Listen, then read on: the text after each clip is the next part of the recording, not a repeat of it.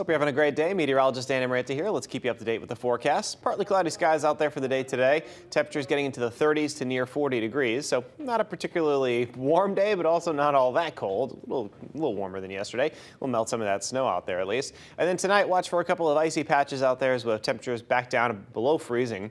Mainly clear skies, but obviously a couple of icy patches may be found. So some quiet weather for today and tomorrow and most of Thursday. Then by Thursday night, going into Friday morning, Thursday night, of course, being Christmas Eve, Friday morning being Christmas morning, we have the possibility for some heavy downpours. We're talking about one to two plus inches of rainfall here, very gusty winds up around 50, maybe 60 plus miles per hour, and uh, the possibility for some flooding out there. So just a, a, range of issues with this heavy rain coming in for uh, Christmas morning, especially.